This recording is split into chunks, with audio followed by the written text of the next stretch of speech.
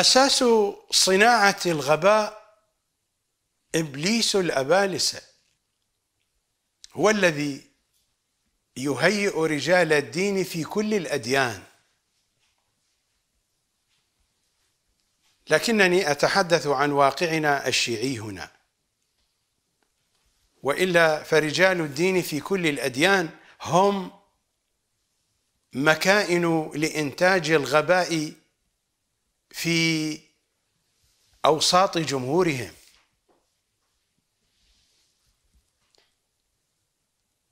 الكتاب الذي بين يدي نهج البلاغة الشريف. ماذا يقول أمير المؤمنين؟ هذه الطبعة طبعة دار التعارف للمطبوعات بيروت لبنان في الصفحة التاسعة بعد العاشرة الحديث المرقم بالرقم السابع. أمير المؤمنين هكذا يقول يتحدث عن أولياء الشيطان. اتخذوا الشيطان لأمرهم ملاكا ملاكا أساسا. كل ما عندهم من الشيطان. لماذا؟ لأنهم يبحثون عن الرئاسة الدينية. الطريق الأفضل للوصول إليها الشيطان المنهج الشيطاني. حينما يستمعون إلى وساوس الشيطان عبر شياطين الجن وعبر شياطين الإنس وعبر الوسوسة الواصلة إلى قلوبهم فيما يخططونه للوصول إلى الرئاسة الدينية وهي أخطر من الرئاسة الدنيوية. اتخذوا الشيطان لأمرهم ملاكا. هذا حال جميع أصحاب العمائم. يبحثون عن الرئاسة الدينية. يبحثون عن جمع الأموال بأية طريقة بالحلال أو بالحرام. لا يعبؤون بالطريقة التي سيحصلون من خلالها على الأموال. اتخذوا الشيطان لأمرهم ملاكا. واتخذهم له أشراكا جعلهم وسائل مكائن لصناعة الغباء لتضليل الناس. وإنما يضلل الناس بالتجهيل والتثويل وأفضل الذين يقومون بهذا الدور مراجعنا العظام عبر كتبهم التي هي كتب الضلال يخالفون فيها منهج الغدير. منذ زمان الطوسي وإلى يومنا هذا. اتخذوا الشيطان لأمرهم ملاكا واتخذهم له أشراكا فباض وفرخ في صدورهم. جعلهم مصانع للغباء. ودب ودرج في حجورهم فنظر بأعينهم ونطق بألسنتهم. لقد ركب لهم كل البرامج كل برامج الغباء الاصطناعي. اتخذوا الشيطان لأمرهم ملاكا واتخذهم له أشراكا. أنا أسألكم وأنتم أجيبوني.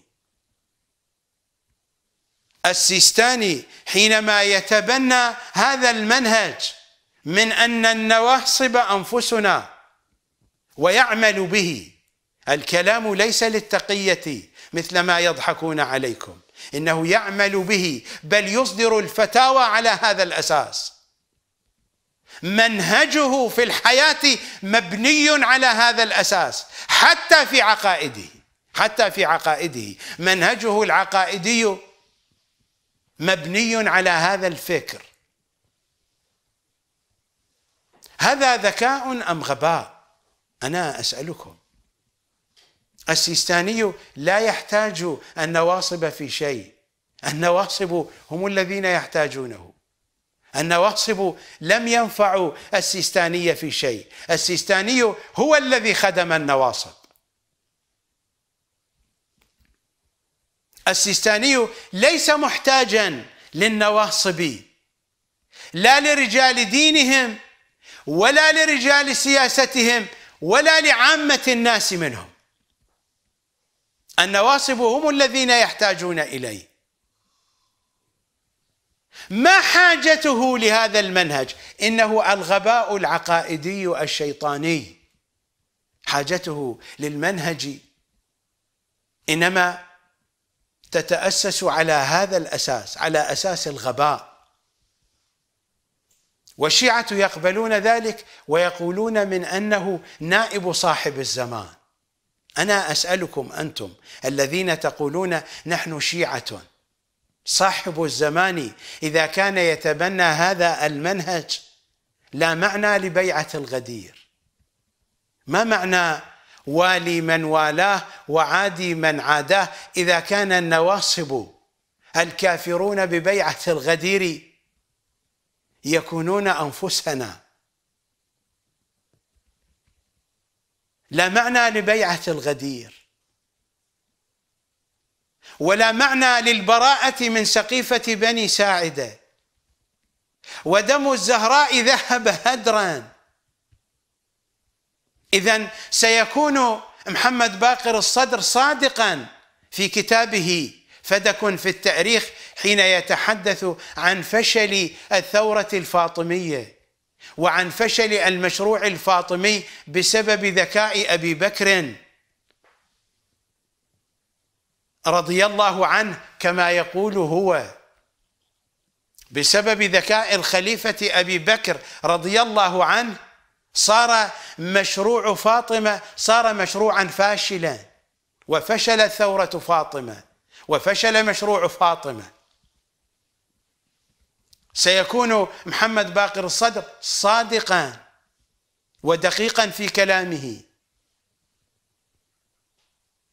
لا معنى لعاشوراء ولا معنى لدم الحسين حينئذ لأن النواصب هم الذين قتلوا الحسين ولأن النواصب في زماننا هم أبناء أولئك ويدافعون عنهم ويبحثون عن المبررات لتصحيح قتلهم للحسين. ولا يعبؤون بقتل الحسين أساسا. وكل الذي جرى على الأئمة لا قيمة له. لا معنى للغيبة حينئذ ولا معنى للثأر الحسيني ولا معنى للرجعة إذا كان النواصب أنفسنا مثل ما يقول السيستاني. هذا هو الغباء المرجعي العقائدي.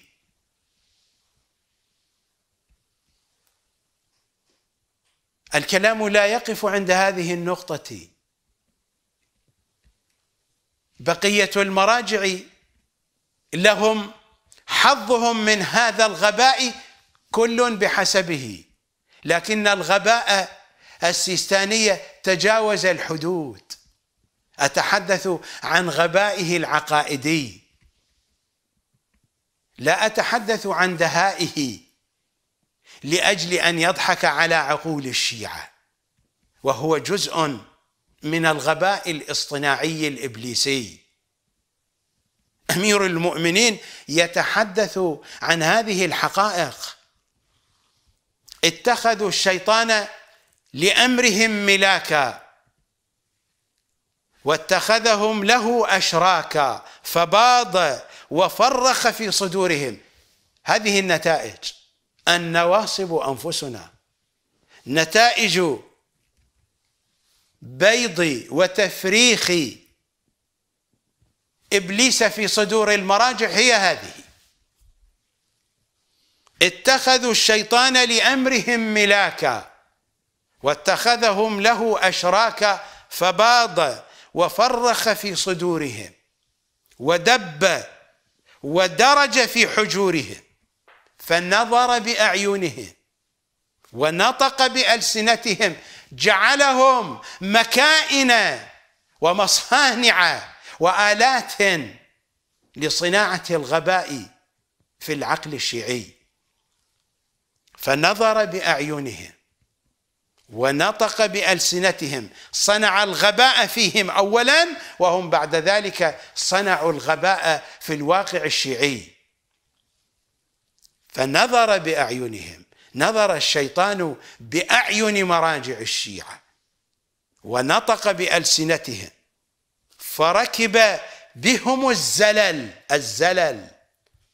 ماذا قال إمام زماننا لأكثر مراجع الشيعة في الرسالة الأولى التي وصلت إلى المفيد سنة 410 للهجرة. ومعرفتنا بالزلل الذي أصابكم. مذ جنح كثير منكم إلى ما كان السلف الصالح عنه شاسعا. ونبذوا العهد المأخوذ منهم وراء ظهورهم. هذا الخطاب لمراجع الشيعة سنة 410 فماذا سيقول لهم سنة 1443 ونحن في آخر أيامها؟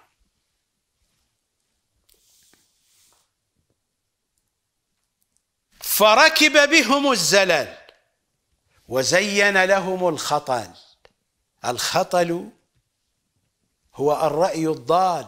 هو القول الضال النواصب أنفسنا. هذا هو الخطل الخطل حين اختلى بعمر موسى السيستاني وقال له يوجه الخطاب إلى الحكام العرب لا تلقوا بالعراق في أحضان إيران. وقد استجاب العرب لذلك ومؤتمر جدة مصداق واضح للبرنامج السيستاني الشيطاني الوهابي.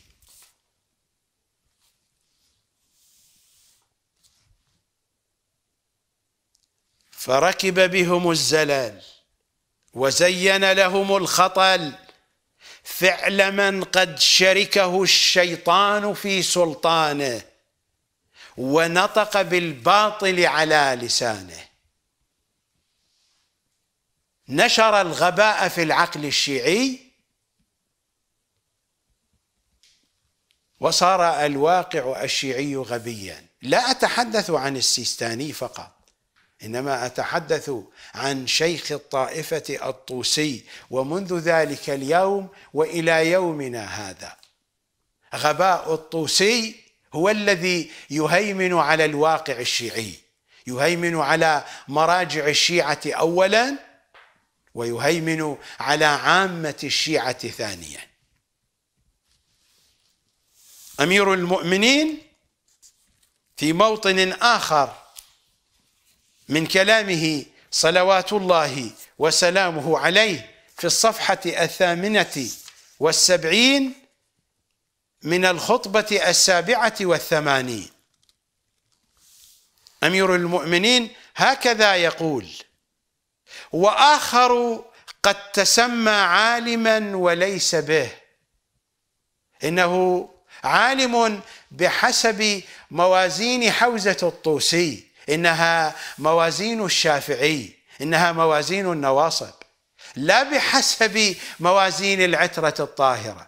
موازين العلم بحسب العترة الطاهرة. أعرفوا أعرفوا منازل شيعتنا عندنا بقدر ما يحسنون من روايتهم عنا.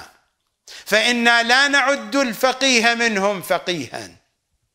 من هؤلاء الرواة حتى يكون محدثا. فقيل للصادق صلوات الله عليه أو يكون المؤمن محدثا؟ قال يكون مفهما والمفهم محدث. هذه موازين العترة.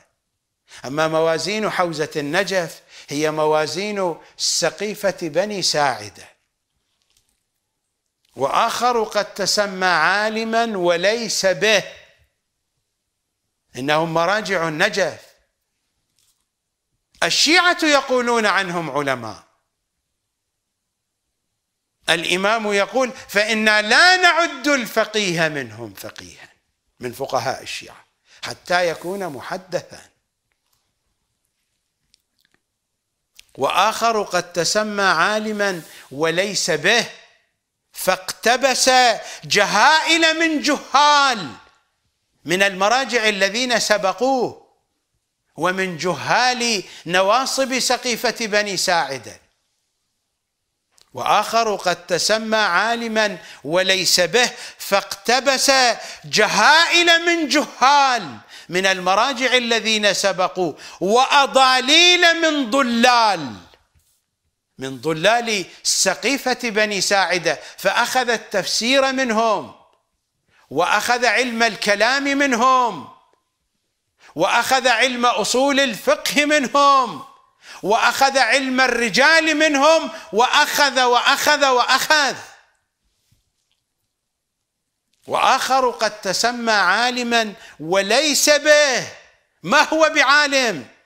فاقتبس جهائل من جهال. كالنماذج التي مرت علينا. ماذا تقولون عن منطق محمد الشيرازي وصادق الشيرازي وحسين الشيرازي وبشير النجفي وإسحاق الفياض ما عرضته بين أيديكم؟ هل هذا علم؟ هل هذه حقائق؟ وآخر قد تسمى عالما وليس به فاقتبس جهائل من جهال. هذه هي الجهائل من الجهال. وأضاليل من ضلال. ونصب للناس اشراكا من حبائل غرور وقول زور. عبر الفضائيات وعبر الوكلاء وعبر الحوزات وعبر الرسائل العملية. ونصب للناس اشراكا. هم ليسوا متأكدين من صحة رسائلهم العملية ولذا يكتبون في أول الرسائل العملية من أن العمل بها مجزئ ومبرئ للذمة. إن شاء الله تعالى. هكذا يكتبون لأنهم ليسوا متأكدين من صحة ما كتبوا في رسائلهم العملية. أتعلمون؟ هم أيضا في الكثير من الأحيان يخالفون فتاواهم التي في الرسائل. أنا لا أحدثكم جزافا. أنا أحدثكم عن حقائق. هذه حقائق المراجع. أنا لا أحدثكم من خيال. يخالفون الكثير من الفتاوى التي يعطونها لمقلديهم حتى في الوضوء وحتى في الصلاة حتى في هذه الأمور الواضحة.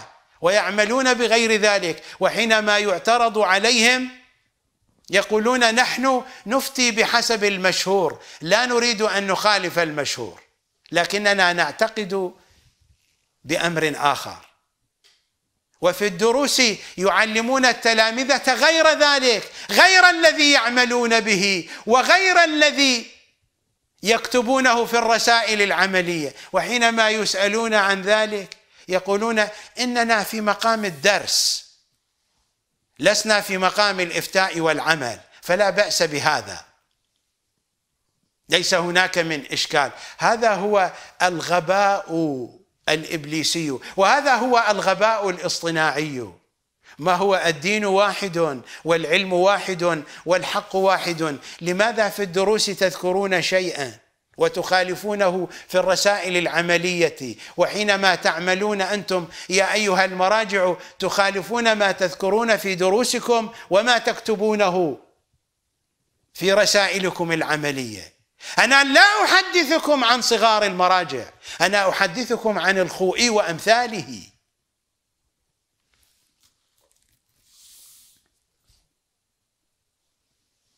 وحينما أحدثكم عن الخوئي لا قيمة للسيستاني ولبشير النجفي وأمثالهما.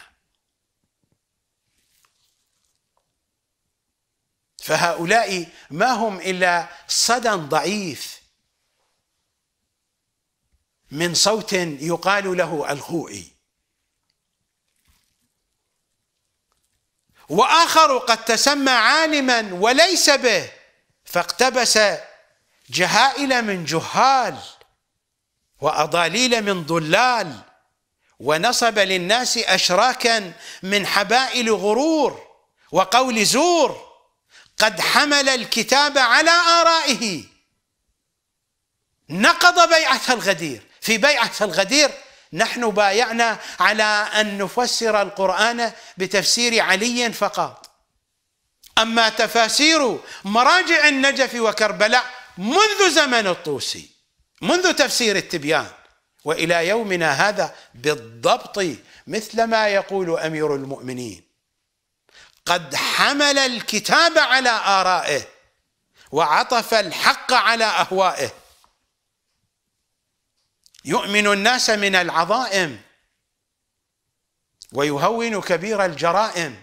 فيقول للناس الإيمان بالرجعة ليس ضروريا. والرجعة من العظائم في أحاديث أهل البيت. الرجعة العظيمة من العظائم. لذا أصطلح عليها الرجعة العظيمة لأنها وصفت في أحاديث العترة وأحاديث أصحاب الأئمة بأنها من الأمور العظائم. وهؤلاء يهونون العظائم على الشيعة. يقولون لهم من أن الرجعة ليست من العقائد الضرورية. والأئمة يقولون من أنه ليس منا وليس من شيعتنا من لم يعتقد برجعتنا. هذا مثال. أنا لا أستطيع أن أقف على كل العظائم التي هونها هؤلاء.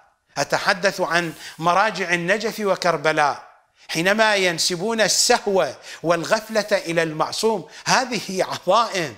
حينما يصدرون الفتاوى بنجاسة دم المعصوم هذه عظائم يهونونها. حينما يصدرون الفتاوى من أن ذكر علي في التشهد الوسطي والأخير من الصلاة الواجبة يبطل الصلاة. هذه من أعظم العظائم. ذكر علي يبطل الصلاة.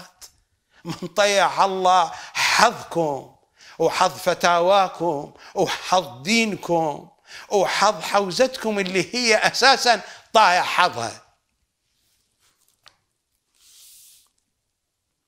يؤمن الناس من العظائم.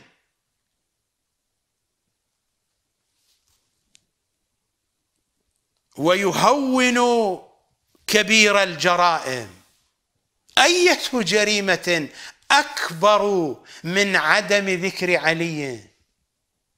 إنهم يجعلون عدم ذكر علي واجبا واجبا. يجب عليك أن لا تذكر عليا في الصلاة وإلا فصلاتك باطلة. ألا تف على صلاتهم. ألا تف على مرجعياتهم ألا لعنة على دينهم هذا الذي يجعل ذكر علي في التشهد الوسطي والأخير مبطلا لصلاتنا؟ ألا لعنة على هذه الصلاة؟ ألا لعنة على هذه العقيدة وهذه الفتاوى؟ هؤلاء هم الذين يتحدث عنهم أمير المؤمنين. هم هم الذين باض إبليس في صدورهم وفرخ في عقولهم. فانتجوا لنا ما انتجوا من الغباء العقائدي ومن الغباء الفتوائي. لو كانوا أذكياء هل قالوا بهذا القول؟ الشيعي الشيعي الذي أساس دينه علي كيف ذكر علي يبطل صلاته؟ إنه الغباء الطوسي إنه الغباء السيستاني إنه الغباء النجفي الكربلائي إنه الغباء الحوزوي إنه الغباء المرجعي. هذا هو الغباء الاصطناعي الذي أتحدث عنه. هم يبطلون صلاة أنفسهم ويبطلون صلاة بقية الشيعة من مقلديهم. هكذا ينشرون الغباء.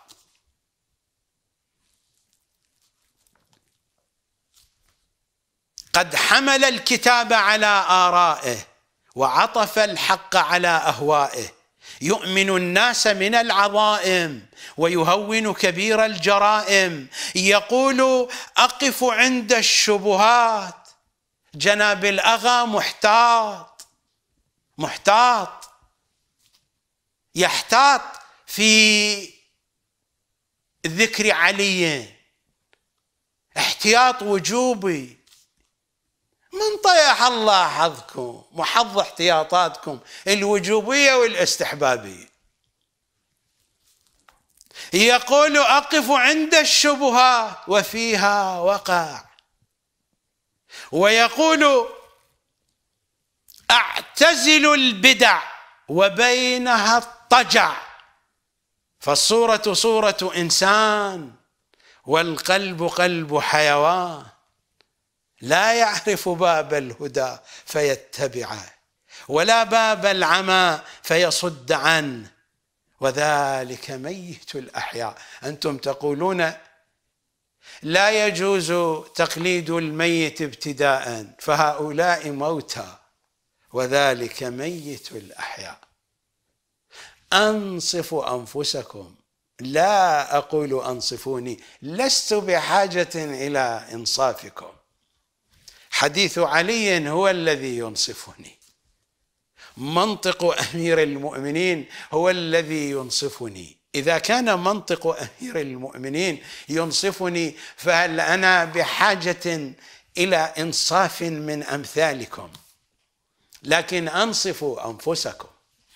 أنصفوا أنفسكم. هذا بيان أمير المؤمنين. طبقوا هذه الحقائق على أرض الواقع. لا أستطيع أن أتحدث كثيرا وأن اسهب كثيرا في التفاصيل لأنني أرى الوقت يجري سريعا وعندي العديد من المطالب. لكنني أذهب بكم إلى فاصل. نصوص مهمة ولطالما كررتها على مسامعكم سأمر عليها سريعا. لأنها ترتبط بالموضوع الذي أتحدث عنه بشكل مباشر. لا أستطيع أن أغض الطرف عنها. سيكون حديثي حديثا ناقصا. سيظهر العور فيه بشكل واضح. هذا هو الجزء الثالث والخمسون من بحار الأنوار. للمجلس. وطبعته طبعة دار إحياء التراث العربي بيروت. لبنان في الصفحة الخامسة والسبعين بعد المئة. إنها الرسالة الأولى التي وصلت إلى الشيخ المفيد سنة 410 للهجرة من الناحية المقدسة. وقد ذكرت ما أريد أن أقرأه عليكم قبل قليل.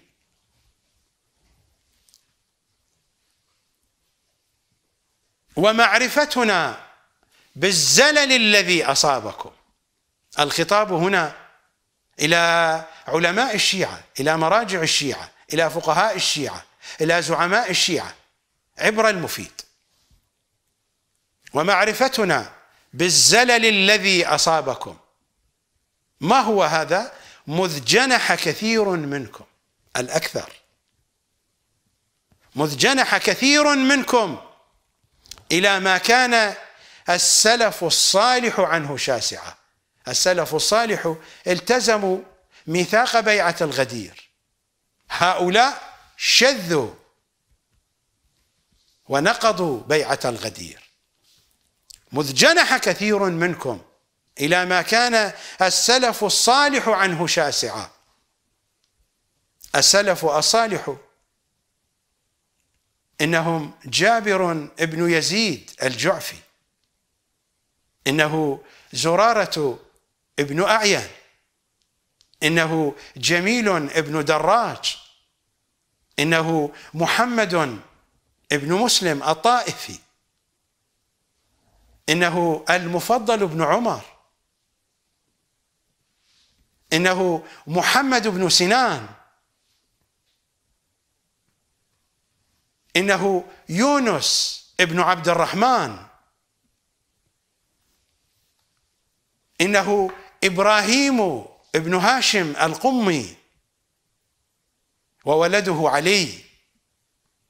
إنه سعد الأشعري القمي. إنه محمد ابن الحسن الصفار. إنه إنه هؤلاء هم السلف الصالح. هؤلاء سلفنا. وتجدد منهجهم. على يد الكليني وعلى يد ابن بابويه والد الصدوق. وعلى يد ابن أبي زينب النعماني وعلى يد ابن قولويه وأمثال هؤلاء. تجدد المنهج المحمدي اليماني القمي على يد هؤلاء. كتبهم هي التي حفظت لنا هذا الدين. ولكن حينما تأسست حوزة النجف طويت صحائف ذلك المنهج وحل الويل والضلال والخراب في واقعنا العقائدي. منذ سنة 448 للهجرة وإلى يومنا هذا. وهذه الرسالة وصلت إلى المفيد والطوسي كان موجودا بجانب المفيد.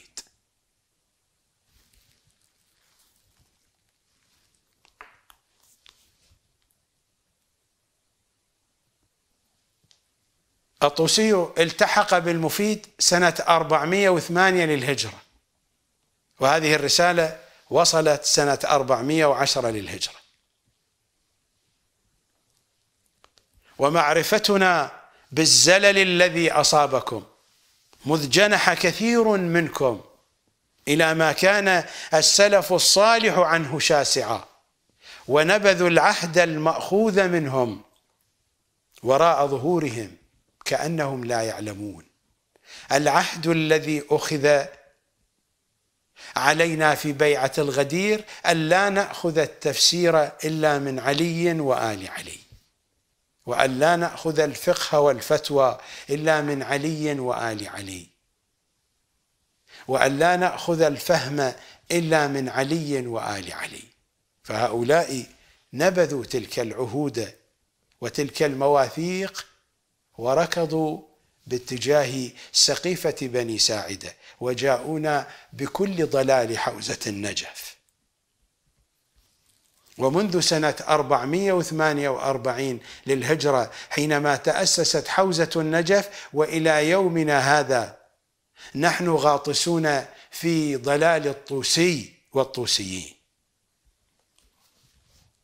ومعرفتنا بالزلل الذي أصابكم مذ جنح كثير منكم إلى ما كان السلف الصالح عنه شاسعا ونبذوا العهد المأخوذ منهم وراء ظهورهم كأنهم لا يعلمون. فماذا سيقول صاحب الزمان للسيستاني وهو يدافع عن قتلة الزهراء ويجعل من شيعة قتلة الزهراء أنفسا له وهو الذي يتآمر بالسر على الشيعة مع عمرو موسى. يتآمر على الشيعة ويريد أن يلقى بهم في أحضان النواصب والوهابيين وهذا هو الذي حدث. فماذا سيقول صاحب الأمر؟ طبقوا هذا الكلام على الواقع الذي نعيشه وطبقوه على أنفسكم. إنكم أتباع هؤلاء. هذا هو الكلام الذي لا بد أن يقال ولا بد أن يسمع ولا بد أن يفكر فيه. أنا لا أطالبكم أن تسلموا لكلامي. من أنا؟ التسليم لمحمد وآل محمد فقط. إنما أقول لكم احترموا عقولكم.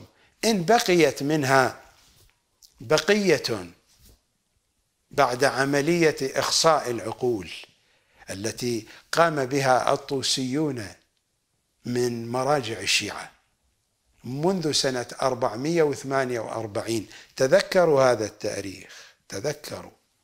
من أن بليتنا بدأت سنة 448 حينما أسس الطوسي المشؤوم حوزة النجف المشؤومة. ألا لعنة على هذه الحوزة؟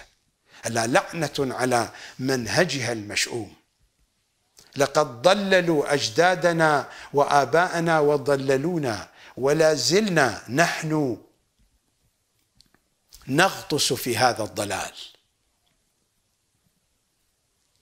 ومعرفتنا بالزلل الذي أصابكم.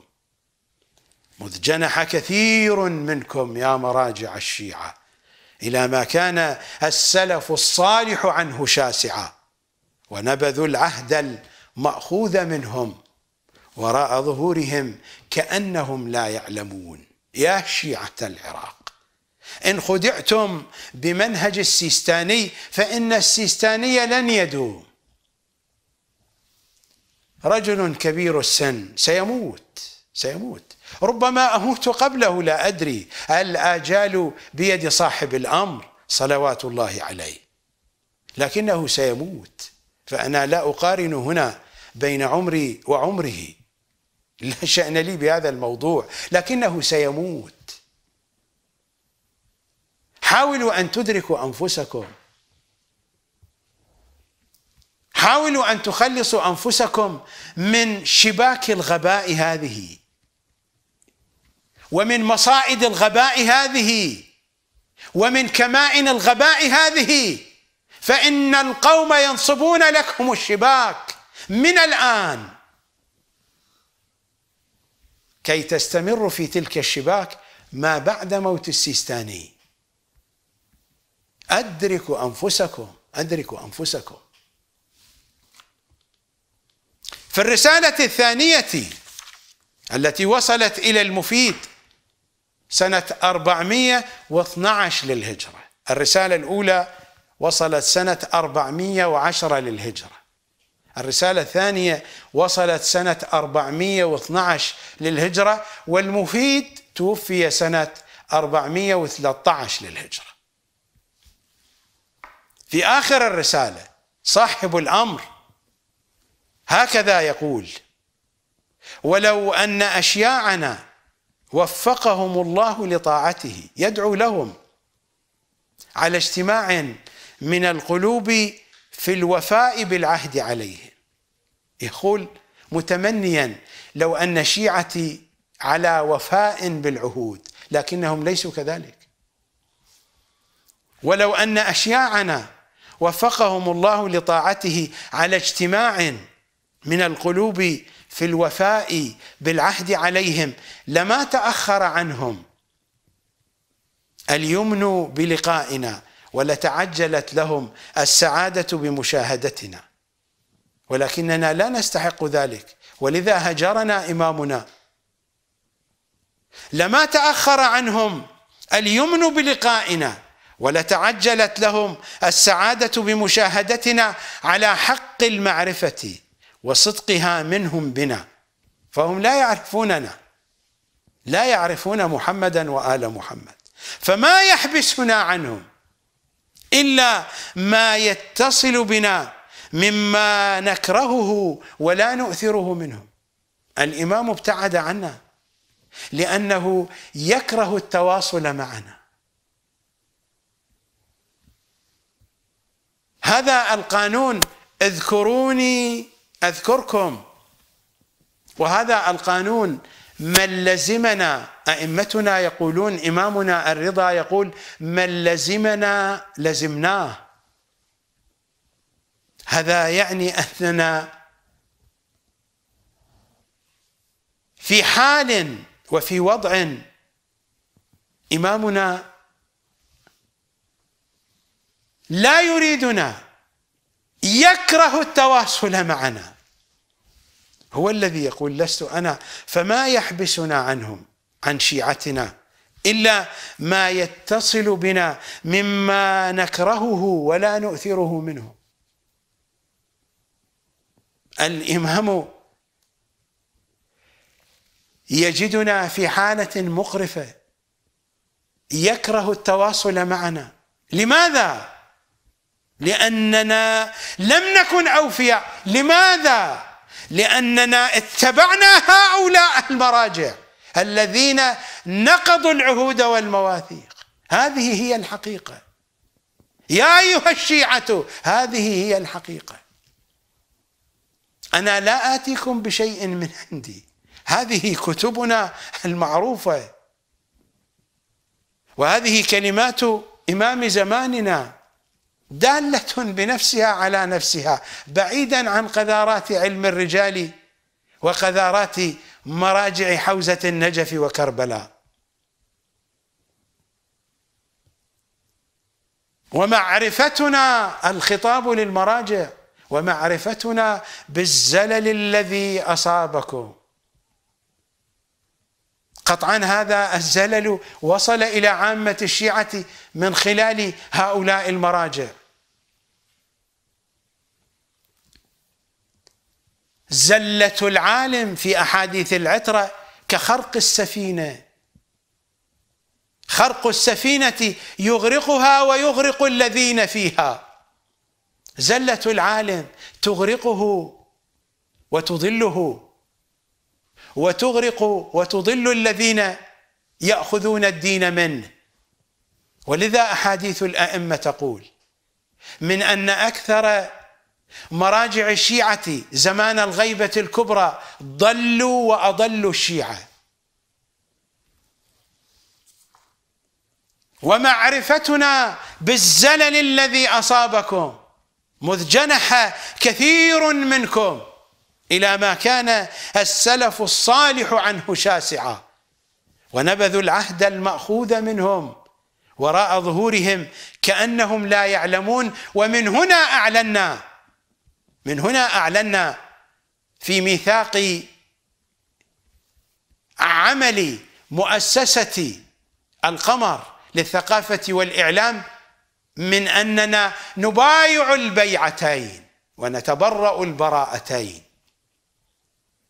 البيعتان الغدير الأول والغدير الثاني والبراءتان براءة من سقيفة بني ساعدة. وبراءة من سقيفة بني طوسي من هؤلاء الذين نبذوا العهد المأخوذ منهم وراء ظهورهم كأنهم لا يعلمون.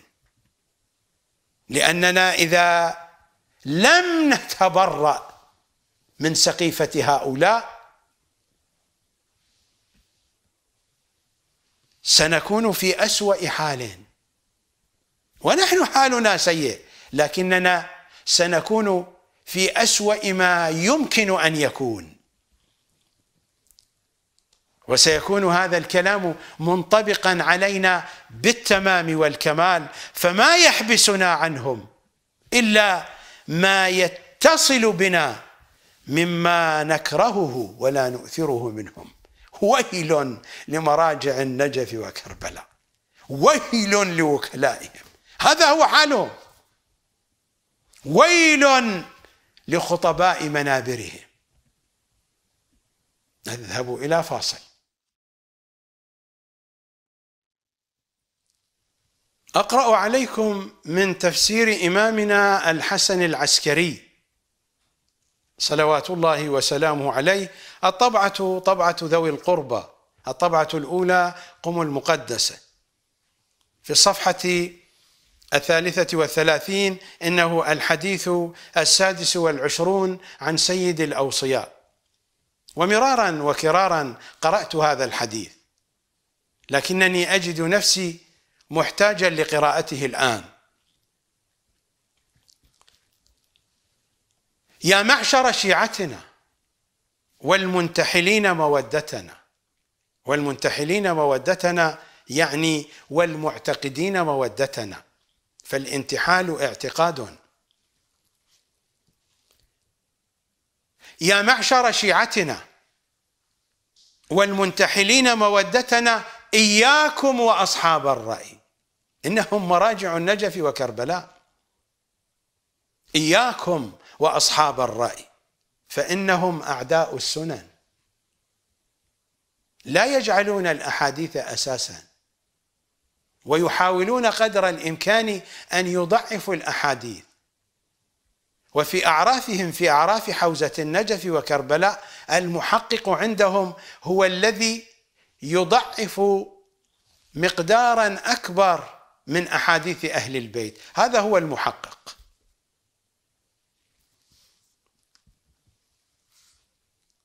إياكم وأصحاب الرأي فإنهم أعداء السنن. تفلتت منهم الأحاديث أن يحفظوها وأعيتهم السنة أن يعوها.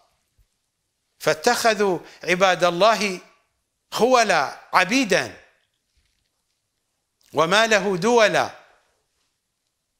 فذلت لهم الرقاب وما له دولا يتصرفون فيه كما يريدون. فذلت لهم الرقاب إنها رقاب السياسيين التي ذلت لهم طمعا لا اعتقادا وحبا. طمعا وخداعا. فذلت لهم الرقاب وأطاعهم الخلق أشباه الكلاب من مقلديهم. ونازعوا الحق أهله. أهل الحق هم محمد وآل محمد. ونازعوا الحق أهله. سلبوا الألقاب والأوصاف. الإمام آية الله العظمى. الحجة. هذا مصداق من المصادق وإلا فإنهم سلبوا كل شيء. ونازعوا صاحب الزمان في كل شيء إلى يوم ظهوره وسيخرجون لقتاله وحربه. ويقولون له ارجع إن دين جدك في خير. إنه في خير بوجودهم. ونازعوا الحق أهله وتمثلوا بالأئمة الصادقين وهم من الجهال. لا علم عندهم. علومهم علوم النواصب والكفار لأنهم كفروا ببيعة الغدير. والملاعي. نذهب إلى فاصل. هكذا يقول أمير المؤمنين يا معشر شيعتنا والمنتحلين مودتنا إياكم وأصحاب الرأي فإنهم أعداء السنن تفلتت منهم الأحاديث أن يحفظوها وأعيتهم السنة أن يعوها أن يدركوا حقائقها. فإنا لا نعد الفقيه منهم فقيها حتى يكون محدثا. فقيل له قيل للصادق أو يكون المؤمن محدثا؟ قال يكون مفهما. والمفهم محدث وأعيتهم السنة أن يعوها. فاتخذوا عباد الله خولا عبيدا وما له دولا فذلت لهم الرقاب وأطاعهم الخلق اشباه الكلاب. هذا منطق القرآن. القرآن في سورة الأعراف يتحدث عن بلعم بن باعوراء وهو من حملة الأسرار. ومن حملة الآيات. في الآية الخامسة والسبعين بعد المئة بعد البسملة من سورة الأعراف واتل عليهم نبأ الذي آتيناه آياتنا. من حملة الأسرار فانسلخ منها. فأتبعه الشيطان فكان من الغاوين. إلى أن تقول الآيات فمثله كمثل الكلب إن تحمل عليه يلهث أو تتركه يلهث. ذلك مثل القوم الذين كذبوا بآياتنا. فاقصص القصص هذا أمر. هذه الحقائق لا بد أن تذكر. القرآن يأمر رسول الله أن يتحدث عن بلعم بن باعوراء ومن أن مثله كمثل الكلب. فاقصص القصص لعلهم يتفكرون. فاقصص القصص. هذا أمر وهذا الأمر يجري على حديث العترة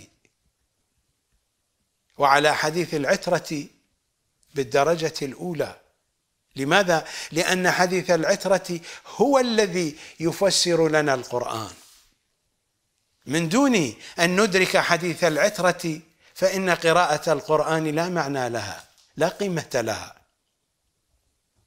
ستبقى القلوب مقفلة أفلا يتدبرون القرآن؟ أم على قلوب أقفالها؟ أقفال القلوب في حديث العترة هم الذين يقولون حديثنا جلاء للقلوب. هم الذين يقولون صلوات الله عليهم حديثنا حياة القلوب.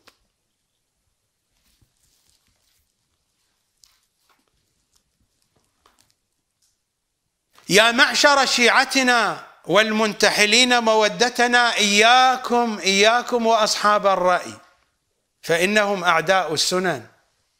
تفلتت منهم الأحاديث أن يحفظوها. هؤلاء هم مراجع النجف وكربلاء لا يحفظون حديث أهل البيت ولا يدركون حقائقه.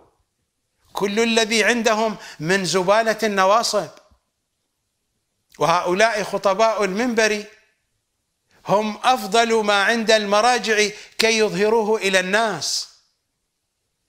كي ينشروا الغباء في الوسط الشيعي. فانظروا إلى أحاديثهم السخيفة وإلى أقوالهم الهزيلة. هؤلاء ينطقون عن مراجع النجف وكربلاء وينقلون ضلالهم وسخفهم وقلة معرفتهم بمعارف العترة الطاهرة. يا معشر شيعتنا والمنتحلين مودتنا. إياكم إياكم وأصحاب الرأي. فإنهم أعداء السنن. تفلتت تفلتت. منهم الأحاديث أن يحفظوها وأعيتهم السنة أن يعوها فاتخذوا عباد الله خولا وما له دولا فذلت لهم الرقاب. وأطاعهم الخلق اشباه الكلاب. ونازعوا الحق أهله وتمثلوا بالأئمة الصادقين. هؤلاء المراجع وهم من الجهال والكفار والملاعين. فسئلوا عما لا يعلمون. اسألوهم اسألوهم. فسئلوا عما لا يعلمون فأنفوا أن يعترفوا بأنهم لا يعلمون. فعارضوا الدين بآرائهم فضلوا وأضلوا. هم ضلوا وأضلوا الشيعة معهم. لأنهم لم يلتزموا بمواثيق بيعة الغدير. خانوا بيعة الغدير. مذ جنح كثير منكم كما يقول صاحب الأمر مذ جنح كثير منكم يا مراجع الشيعة. جنحوا عن أي شيء؟ مذ جنح كثير منكم عما كان عليه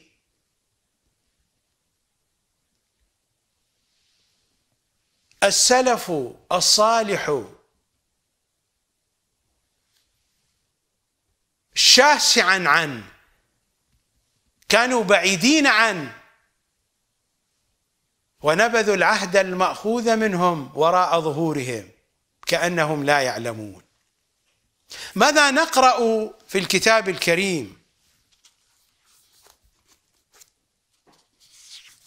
في سورة المدثر في الآية التاسعة والأربعين بعد البسملة.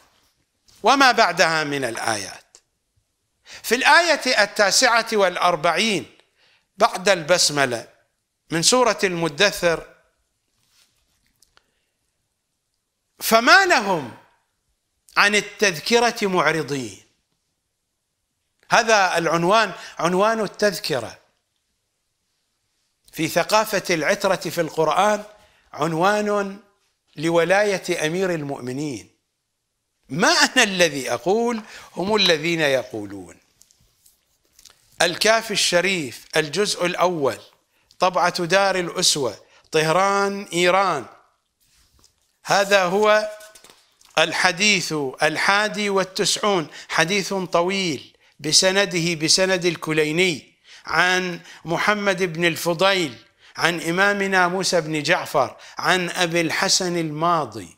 أبو الحسن الماضي موسى بن جعفر صلوات الله وسلامه عليه. هذه كنيته وهذا لقبه في كتب الحديث. قلت محمد بن الفضيل يسأل الإمام الكاظم فما لهم عن التذكرة معرضين؟ الحديث طويل أنا أقرأ من صفحة 492 وصفحة 493 قلت فما لهم عن التذكرة معرضين؟ يعني ما معنى هذه الآية؟ قال عن الولاية معرضين. قلت كلا إنها تذكرة. قال الولاية. هذا المصطلح القرآني التذكرة إنها ولاية أمير المؤمنين. إنها ولاية صاحب الأمر. نحن قد بايعنا البيعتين. قد والينا الولايتين ولاية علي وولاية القائم.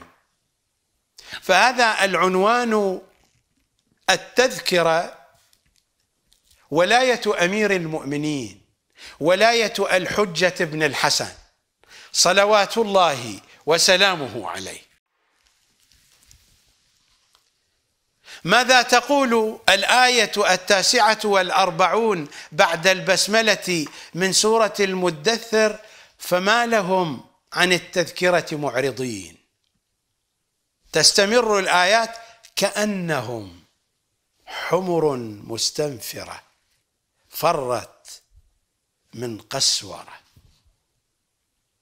كأنهم حمر مستنفرة. فرت من قسورة. لماذا؟ لأنهم أعرضوا عن التذكرة. التذكرة إنها بيعة الغدير. إنها ولاية علي. إنها البيعة الأولى. إنها العهد المأخوذ علينا. فما لهم عن التذكرة معرضين؟ لماذا أعرضوا كأنهم حمر مستنفرة؟ فرت من قسورة. القسورة هو الأسد والقسورة أيضا من ألقاب أمير المؤمنين صلوات الله وسلامه عليه. أنا الذي في رجزه في خيبر أنا الذي أنا الذي سمتني أمي حيدرة ضرغام آجام وليث قسورة. أكيلكم بالسيف كيل السندرة. هذا رجز الأمير في خيبر في مواجهة مرحب. أنا الذي سمتني أمي حيدرة. فر مرحب حينما سمع من أن الذي يواجهه قد سمته أمه حيدرة. وللأمر حكاية مفصلة لا مجال لذكرها. أنا الذي سمتني أمي حيدرة. ضرغام آجام وليث قسورة. كانهم كأنهم حمر مستنفرة. فرت من قسورة. ماذا تقول أحاديثهم؟ أحاديث العترة الطاهرة. أقرأ عليكم من الجزء الثاني من تأويل الآيات الظاهرة في فضائل العترة الطاهرة للمحدث شرف الدين الإسترابادي النجفي. وطبعة طبعة مؤسسة الإمام المهدي قم المقدسة. رواية طويلة تبدأ في صفحة 734 الرواية السادسة عن إمامنا الصادق صلوات الله وسلامه عليه إلى أن يصل الكلام وقوله فما لهم عن التذكرة معرضين؟ قال يعني بالتذكرة ولاية أمير المؤمنين. وقوله كأنهم حمر مستنفرة فرت من قسورة. قال يعني كأنهم حمر وحش حمر وحش يعني هذه الحمر البرية المخططة. قال يعني كأنهم حمر وحش فرت من الأسد حين رأته. وكذا أعداء آل محمد. إذا سمعت بفضل آل محمد صلوات الله عليهم نفرت عن الحق. ما هو هذا حال المعممين في النجف وكربلاء ينفرون من حديث العترة. ما إن يسمعوا نصا روائيا أو نصا من زيارة أو دعاء إلا وهاجموه بأنه ضعيف السند. صدقوني طلاب الحوزة في بداية مجيئهم إلى الحوزة. هذا أنا سمعته بآذاني. الأساتذة في الحوزة يحذرونهم من قراءة كتب الحديث ويأمرونهم بقراءة كتب العلماء وكتب علماء الشيعة كتب ضلال كتب ضلال لأنها قد أخذت في أصولها وأسسها من فكر سقيفة بني ساعدة. هذه هي الحقيقة من الآخر. لماذا تبعدون طلاب الحوزة المبتدئين عن أحاديث أهل البيت. ما هي أحاديث أهل البيت؟ لكل الناس للخواص والعوام.